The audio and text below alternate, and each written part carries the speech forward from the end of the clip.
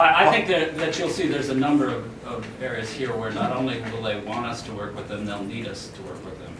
Because the, especially in the House, the, uh, um, the thirty-sixth vote is gonna be hard to come by.